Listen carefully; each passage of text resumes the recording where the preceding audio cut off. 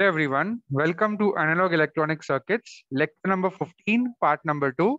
So in today's lecture, we are going to solve a numerical on a cascade amplifier. So let's directly start. So a two-state circuit is shown below, having the MOSFET parameters as VTN1 is equal to VTN2 is equal to 5 volt, KN1 is equal to KN2 is equal to 120 microampere per volt square, and lambda 1 and lambda 2 is equal to 0. So we have to calculate the Q point for both the stages, AV1 and AV2, overall voltage gain AVT in dB, the output voltage if Vs is 20 millivolt peak to peak, and Rn and Rout, that is input and output resistance. So this is the circuit which we have given. Now take a moment and try to identify which cascade amplifier configuration it is. Just have a look at it. So the first stage is a common source amplifier it is RC coupled to the second stage. First stage is RC coupled to the second stage. Second stage is also a common source amplifier. So let us start writing up the solution.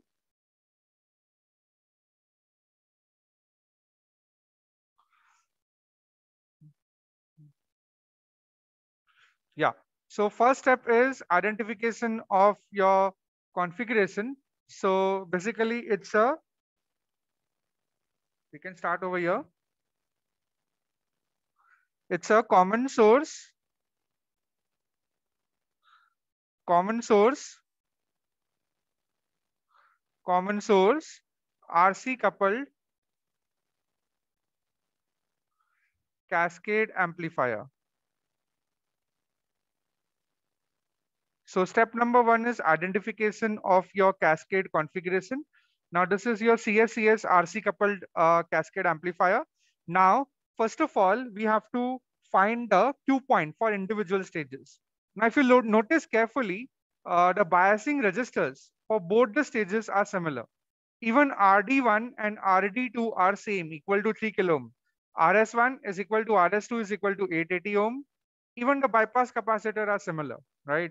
So that's why we can say that both the stages are having symmetrical parameters. Even the M1 and M2 parameters, the MOSFET parameters are given as same, right?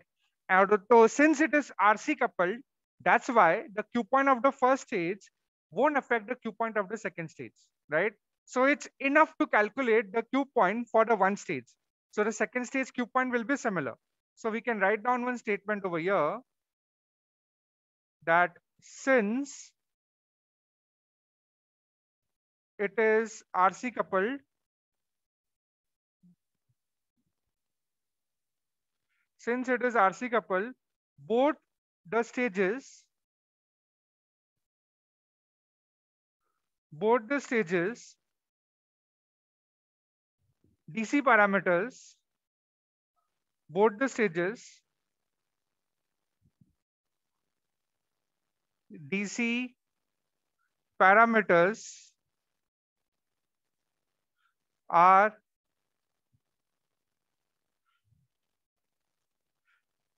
isolated. So what do you mean by it both the stages DC parameters isolated? That means this Q point of the first stage won't affect the Q point of the second stage because in between you can see there is a capacitor. So this capacitor, which I'm marking in the yellow color over here, will isolate the DC parameters of the first stage from the DC parameters of the second stage. All right. So, and also the both the stages are symmetric.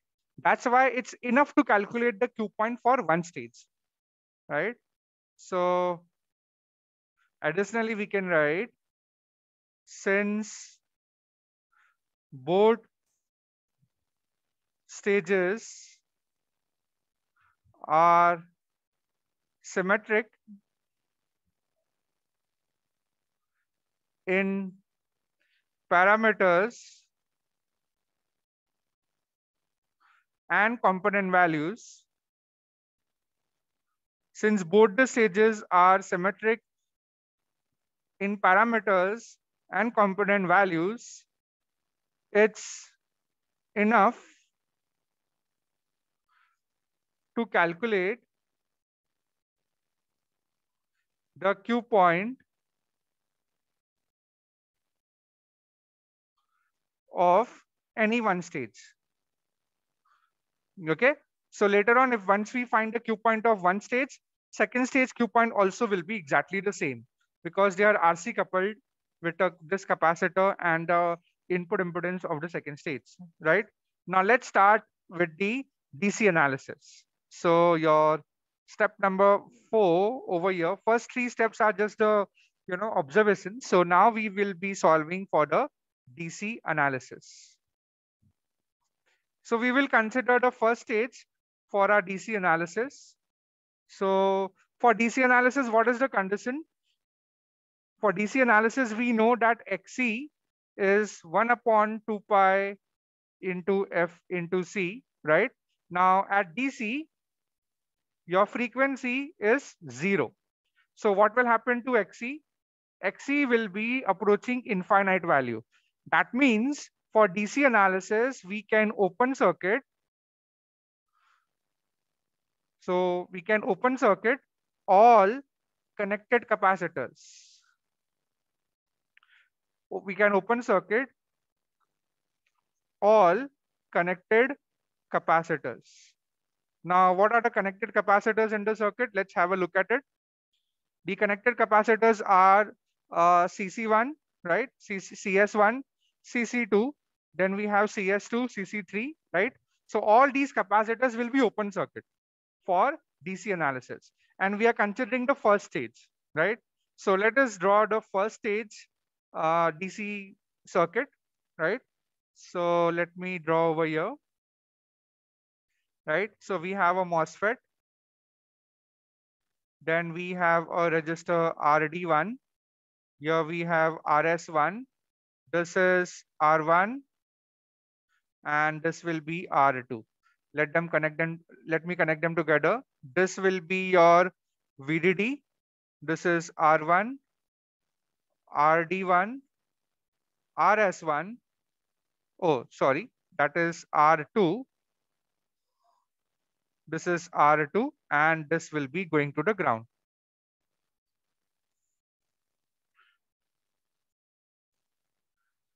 Right? It's also important and vital to write the terminals. So this is gate one, this will be drain one, and this will be source one. This will be RS1, right? So now for this, we have to calculate the, uh, you know, Q point. So for calculation of Q point, first we have to calculate VG. Now remember, the gate current flowing into the MOSFET is very, very small, approximately equal to zero. So we can easily apply a voltage division rule at the gate terminal. So what does that mean is, let me just draw and show it to you. So let's say you have R1 and you have R2. Here we have VDD and here we have a ground. So this voltage, we this is the gate terminal, right? And here we are saying that the current is zero, right? If the current is zero, whatever is connected next circuit, it's not immaterial, right? So that's why we can easily calculate VG1, right? This is the gate one terminal and we can write VG1 very, very easily. So let me just write it over here, VG1. So we can easily apply a voltage division rule and we can write VG1. So VG1 will be equal to R2 divided by R1 plus R2 into VDD. Now, let us check out what are the values of uh, R1, R2, and uh, VDD. So the supply voltage, the, the value of R2 is 18 mega ohm. And the value of R1 is 22 mega ohm. And the value of VDD is 20 volt. So substitute these values in a calculator and eventually you will get a value of VG1 as 9 volt. Okay, so the value of VG1 is 9 volt we have got, right? So moving ahead, remember ultimately we are going to find VGS and ID. So next we will find, next point, we will find VS1. Now what is VS1? Let me extend it over here. So if I extend it over here, this point will be VS1.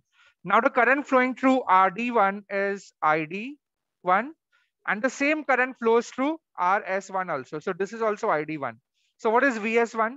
VS1 is current into resistance, that is ID1 into RS1. So let us write it down. So VS1 will be ID1 into RS1 and RS1 value is known to you. So VS1 will be ID1 into RS1 value is given as 820, right?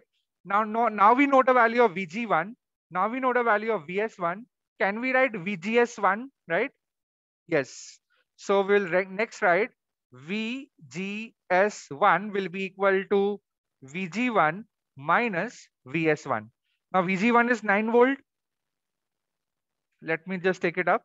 Uh, VG1 value is 9 volt over here and your VS1 value here, let me mark it. Here it is 820 into ID1, right? So let me add over here. That is VGS1 is equal to 9 volt minus 820 times ID1. So let me call this equation number one. Right now, uh, we have two unknowns, VGS1 and ID1, and we have only one equation. We cannot solve this further. Next, we have to assume that the given MOSFET M1, this MOSFET is called as M1. So given MOSFET M1 is operating in the saturation region. So let us write that condition over here. Let me slightly move it up now. Yeah. So assuming assuming that MOSFET is in saturation. Assuming that MOSFET M1 is in saturation.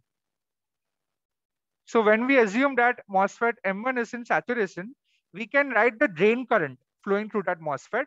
So we can write equation as ID1 will be equal to Kn1 times VGS1 minus VTN1 the whole square, right? So that's the equation we get when we assume that your MOSFET is working in the saturation region. Now we can continue writing this further. Uh, that is ID1 will be equal to Kn value is given as 120 micro ampere per volt square. Then VGS is the unknown value and VTN1 value is given as 5 volt. Okay, so this is the equation number two we get.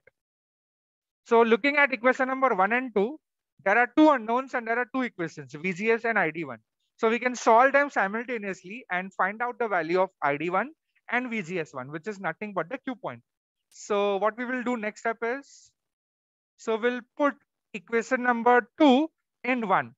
We'll substitute the value of ID1 over here in equation number one, right? So put equation 2 in 1. Right? So what do we get? Let me just slightly move it up. So we get VGS1. We, we were writing reference as follows.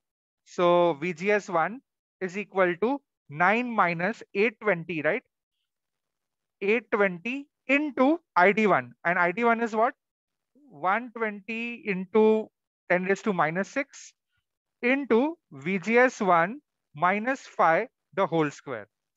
So you have to calculate the value of 820 into 120 into micro, uh, I mean into 10 raised to minus 6.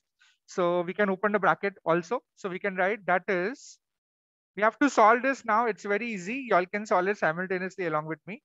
So this will be 9. Uh, this value will be 0 0.0984, right? And inside we will have VGS1 the whole square minus 10 VGS1 plus 25, right? And now we further open the bracket. What do we get? VGS1 is equal to 9 minus. So 0 0.0984 times VGS1 the whole square. Then this will be 0 0.984 times VGS1 and here again you will have a minus and uh, this this will be plus actually because minus minus will become plus. And this will be 25 into this factor right? This fraction that will be around uh, 2.46 you all can cross check it. Now let me take it up. So finally, we'll write the quadratic equation now. So if we rearrange all the terms, you will get 0 0.0984 VGS1 the whole square plus 0 0.016 VGS1, right? You can solve it very easily. Minus 6.54 is equal to 0, right? So we got a quadratic equation in the form of VGS1. You all can solve it, uh, you know, in your calculator. So we'll write over here, solve the equation quadratically. Okay, so solve the following equation, above equation quadratically, we get. So you can put the equation in your calculator, right? And uh, we can, uh, we will get the value of VGS1. You should get the value of VGS1 as. So VGS1 will be two values, 8.07 volt or VGS1 will be equal to minus 8.23 volt. Now, which value to select, right? So there is a simple criteria to select this. VGS1 should be greater than VTN1, okay? So uh, here in this case, your VGS1 is greater than VTN1. Let us check it out. Since VGS1 is greater than VTN1. And what is VTN1? Your VTN1 is nothing but 5 volt. Okay. And in this case, we have to reject the value. So this will be a reject. Now, this is my value of VGS1 Q. So with this value of VGS1 Q, we need to find the value of ID1, right? So what is the step number F? Yeah. So let me add over here. This is ID1. We'll write the rewrite the expression of ID1 that is Kn1 times VGS1 minus VTN1 the whole square. So over here, all the values are available, right? So let me just rewrite. This is 120 micro. This value, we got it as 8.07. This is 5. And don't forget the square, right? So if you solve it in a calculator, the value of ID1 will be equal to, so ID1 will be equal to 1.13 milliamperes. Okay, so this is the value of ID1 which we are getting. And we got the value of VGS1 as 8.07 uh, volt. So what is the Q point of the first stage? So finally, the Q point of the first stage will be uh, Q point of first stage. that will be equal to VGS Q1, comma, ID Q1. Okay. And uh, that will be uh, VGS1 is 8.07 and this will be 1.13 milliamperes. Now, since both the stages are symmetric, that what we can write, since both the stages are symmetric, we can write ID1 is equal to ID2 is equal to 1.13 milliamperes and VGS1 is equal to VGS2 is equal to 8.07 volt, right? And why we can write this thing? We can write this thing because the, both the stages are coming out to be symmetric, right? So Q point of first stage and Q point of second stage are similar correct? So let me write over here Q point of first stage uh, that will be equal to Q point of second stage. So our first question is solved. I mean, the first part of uh, question is solved. Next, we have to find the small signal parameters, right? So let us see which point we were on. Point number four. So remember, let's go back to the question. What are we supposed to find? So we have to find Q point for both the stages that we have done. Now we have to focus on finding AV1 and AV2, right? And then the overall voltage gain and followed by the output voltage and the input and output resistance. Now let us go back and uh, find out the values of small signal parameters. So that is point number five.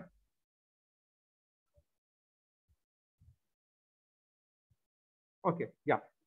So we write over here phi and we will calculate the small signal parameters, small signal parameters of both the stages. Okay, so what are the small signal parameters? GM1. So what is the formula for GM1? Twice KN1 into VGS1 minus VTN1, right? And uh, that value is same as your GM2. Your GM1 and GM2 values are same because VGS1 value is same for both. Also, the parameters KN1 and VTN1 are same as KN2 and VTN2. So let's calculate the value of uh, GM1. So Kn value is given as around 120 micro, right? Uh, the value of VGS1 just now we calculated as 8.07 and VTN1 is 5 volt, right? So we calculate these values in your calculator and you will get the value of GM1 as, um, which is equal to GM2 and that will come out to be 0 0.7368 milliampere per volt. Remember the unit, it will be milliampere per volt or write it in the form of milliampere per volt. Okay, fine. So that's the value of GM1 and GM2. Now, another small signal parameter will be RO1 and RO2, right? But over here, we have been given, uh, let's just consider this. We have been given that lambda 1 and lambda 2 is equal to 0, right? So what will be your RO value? RO is basically 1 upon lambda ID. So both RO1 and RO2 will be equal to infinite. Now RO1 and RO2 infinite means they are not present in the small signal model right? So here I can easily write over here RO1 will be equal to RO2, which will be equal to infinity. It will not affect the small signal model. They won't be present at all. Okay, fine. So we have found out these small signal parameters for the given uh, amplifier, the cascade amplifier. Now we have to find the voltage gain. So let me go back to the circuit.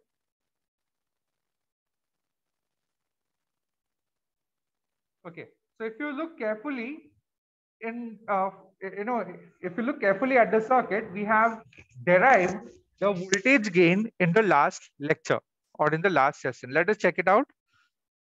So it was 15.1. Let us have a look at it once, the formula, so we can write it as it is. We have solved it last time. Yeah, let me just minimize it a little. Yeah, so that it fetch the screen. Yeah, we have done the analysis of common source, common source RC coupled cascade amplifier, and we are solving a similar numerical on it. So last time we have estimated the input impedance, output impedance, and the voltage gain for the circuit. So let us check it out the formulas directly. So your Zn will be equal to Zi plus R6, where Zi will be R1 parallel to R2 and Zin will be R6 plus Zi, right? So remember this. Then uh, RO or Z out will be small RO2 parallel to RD2 parallel to RL. You all can refer the previous lecture video for this details. Then we are supposed to find the overall voltage gain, AVT.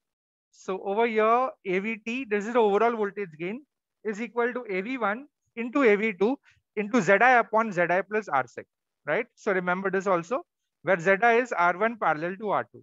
And what is the formula for AV1? For AV1, we have minus GM1 into RO1 parallel to RD1, parallel to R3, parallel to R4, right? Is exactly the same circuit. And uh, what is the formula for RO, I mean AV2? We have derived this last time, so you all can refer this handout. AV2 is AV2 was minus GM2 into RO2 parallel to RD2 parallel to RL. So you all can refer it or or else if you have forgotten the formula, you all can quickly draw the small signal or mid frequency small signal equivalent circuit and you can deduce those formulas very very easily looking at the circuit okay so it's better to practice this before you attempt a numerical. So let us go back to our numerical now. And uh, let us uh, go back to a work of finding the voltage gain now individual stage voltage gain. Okay so let me just huh, minimize this a little. And let me go back and find out now the voltage gain. We have just now saw the formula. Now we have to calculate the voltage gain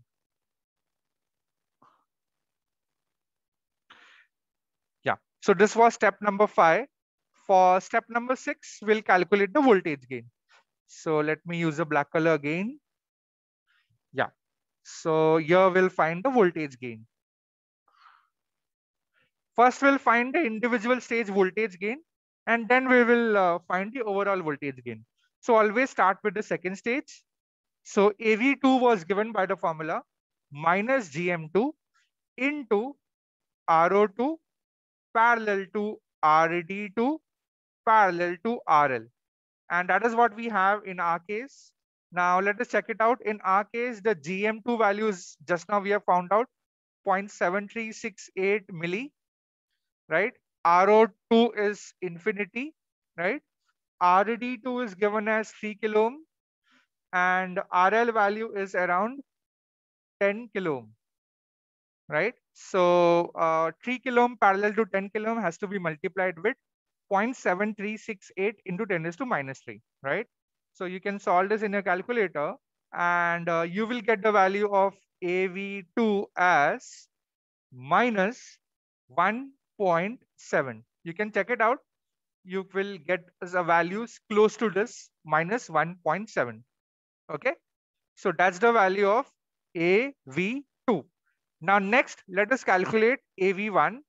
So what was the expression for AV1? minus GM1 into RO1 parallel to RD1 parallel to R3 parallel to R4, right? And what are the values? The value of GM1 is 0 0.7368 milli. RO1 is infinity, so it's not been considered also because in parallel combination, the value of the resistance is the lowest among all, right? So this is RD2 is 3 kilo ohm, R3 is 22 mega ohm, and R4 value is 18 mega ohm. So first of all, uh, do the parallel combination of 22 into 18, and then that number will be in parallel with 3 kilo ohms. So definitely the result will be lesser than 3 kilo ohms, right? Now, and you have to multiply it with this 0.7368 into 10 is to minus 3.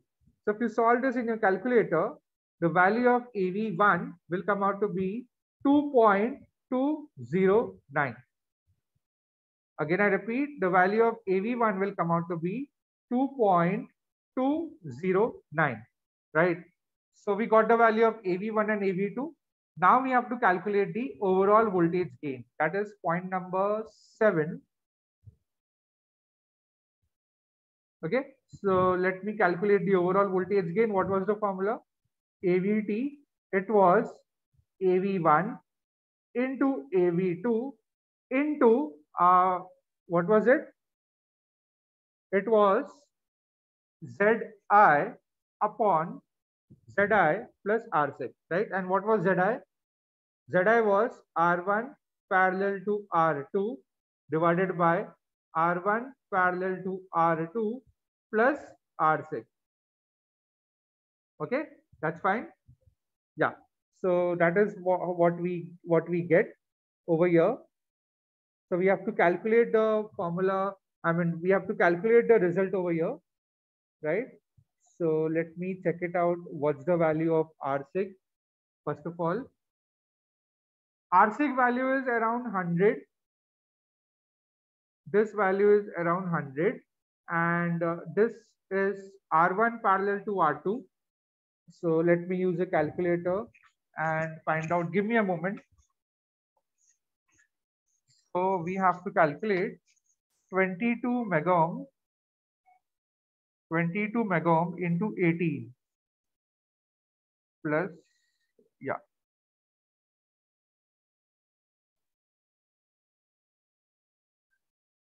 Okay, so let me just 22 mega ohm into 18 mega ohm divided by 22 mega ohm plus 18 mega ohm.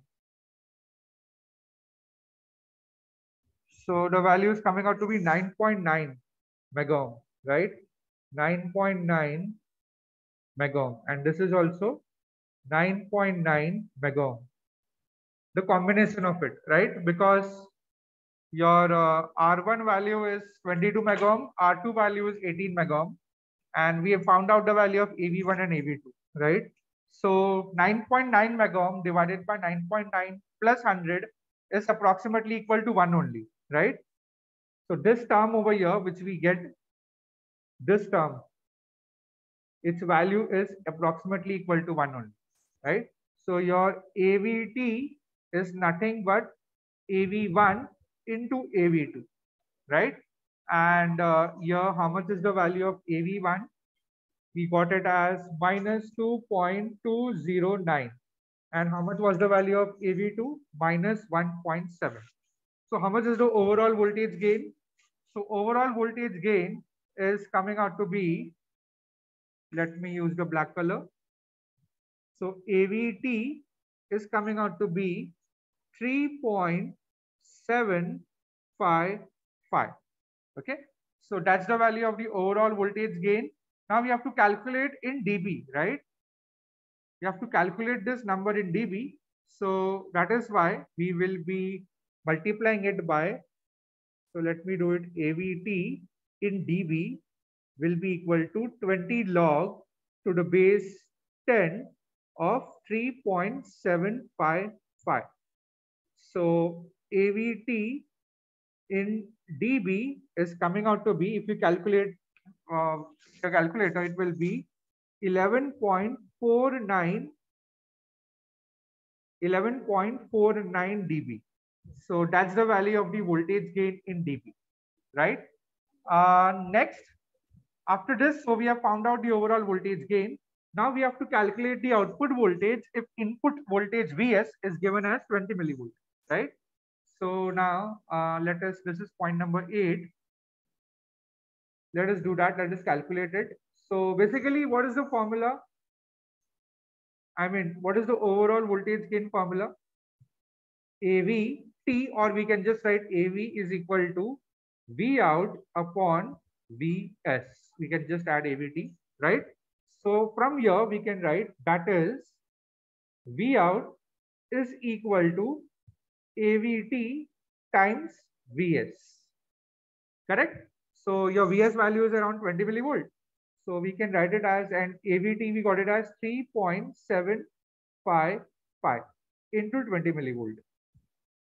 Okay, so so your V out that is your V out is equal to 75 millivolt. V out is coming out to be 75 millivolt.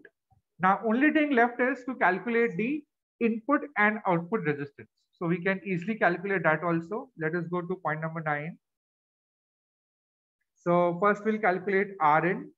So Rn will be Ri plus R6. Ri or Zi? And Ri is what?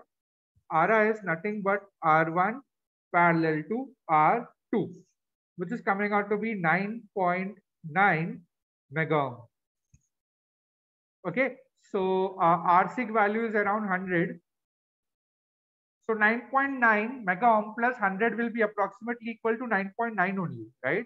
So here we can write that is Rn will be approximately equal to 9.9 mega ohm only. Okay, this is 9.9. Okay, so yeah. Now, last thing we have to calculate is R out. Now, R out, we have estimated the formula last time. So that was coming out to be uh, RO2 in parallel to RD2 in parallel to RL, right? And uh, according to this formula, your RO2 value is infinity, RD2 value is 3K, and RL value is 10K. So 10K in parallel to 3K, that's come out to be 2.307 kilo ohms. Okay, so that's the value of R out. So that's how we have completed the entire numerical. First, we calculated the DC parameters, the Q point, then the small signal parameters, then the voltage gain, and finally we calculate the output voltage, input resistance, and the output resistance for the given numerical. Okay. So in case if you have any query, you all can always ask. And uh, yeah, and try solving each and every step and all the calculations by yourself. Okay. So let me go back and check if anything is left out in the numerical. No, everything is taken care of. We have, uh, we were asked supposed to find out uh, Q point for both the stages. We have completed that, right? So this is completed. Then we calculated AV1 and AV2. Then the overall voltage gain in dB. V out value if input Vs is given and R in and R out right? So such type of numericals are always asked for around 10 marks, 10 to 12 marks. So see to it that every step is carefully, you know, evaluated and numerically correct, right? You should know the ranges that ID1 will be in milliamperes, your voltage gain will be greater than one, and so on and so forth, right? So that's all for this session. Next time, we will begin with a new topic. So until then, have a good day and thank you.